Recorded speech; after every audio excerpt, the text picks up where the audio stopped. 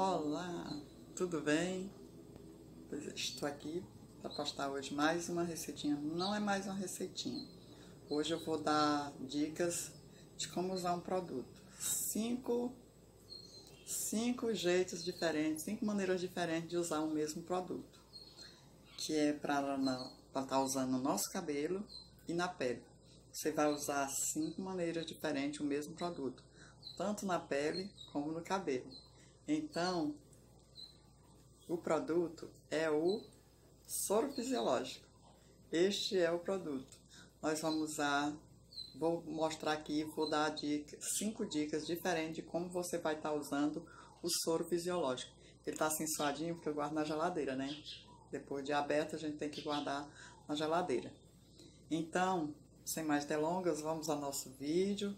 É, as cinco maneiras de você usar o soro fisiológico, tanto na sua pele como no seu cabelo. Se você gosta desse tipo de vídeo, você se inscreve. Se você ainda não é inscrito aqui, está passando aqui pela primeira vez, já conhece, aí você se inscreve, é, dê seu joinha e ative o sininho das notificações. Então, sem mais delongas, vamos ao nosso vídeo. Dá as cinco dicas. A primeira dica de como você vai usar o soro fisiológico, uma das, das dicas, a primeira é você vai usar ele na sua máscara. Você faz aquela misturinha, faz a misturinha, é, você pode colocar o creme, outros, os produtinhos, a misturinha caseira, ou, ou na sua própria máscara mesmo, que você já tem costume de usar, e põe duas colheres de soro fisiológico, para estar tá dando aquela potencializar a sua hidratação. Então, esta foi a primeira dica do cabelo. A segunda dica é como finalizador. Você vai usar, eu tô olhando aqui porque eu fiz a colinha, né? Vai que eu esqueço. Depois de, de lavar e condicionar seu cabelo, você vai colocar no borrifador e vai borrifar todo o seu cabelo e deixar normal. Ele vai dar maior brilho e nutrição ao seu cabelo. Então, esta é a segunda dica, né? A terceira dica é para a sua pele. Você vai usar é, para limpar e nutrir a sua pele antes e depois da sua maquiagem.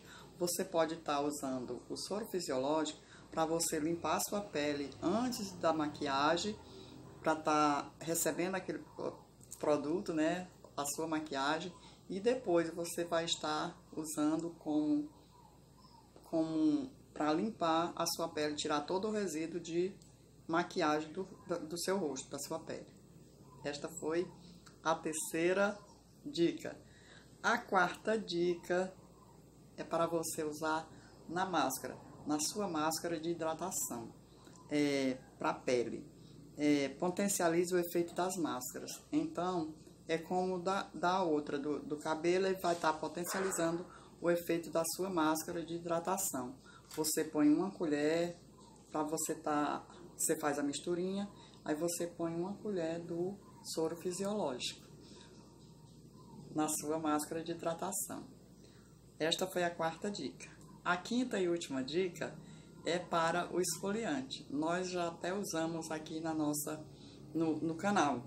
Tem uma a receita ou duas que a gente está usando o soro fisiológico. E não importa a marca, qualquer um. E é um produto bem baratinho que você pode adquirir. É produto de farmácia. Esta aqui não importa a marca. Estou usando o soro fisiológico, é ADF Pharma. Mas você pode estar tá usando a marca que você tiver.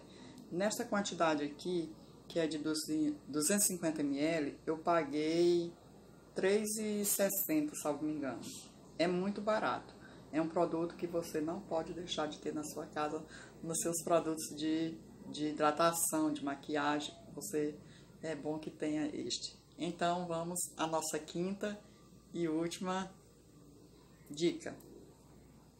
A quinta e última dica é como esfoliante. Você vai estar usando no esfoliante. Você faz a misturinha, você pega uma colher de café, um shampoo, um shampoo de bebê, e vai estar tá colocando duas colheres de, de soro fisiológico nesta misturinha. Você mexe, põe na, na sua pele, no seu rosto, no colo e no pescoço e deixa por 20 minutos. Esta misturinha é muito boa, é maravilhosa. Ela vai estar nutrindo e hidratando a sua pele. Então, é isso aí. Esta foi as cinco dicas de como você usar o soro fisiológico na sua pele e no seu cabelo. Ok?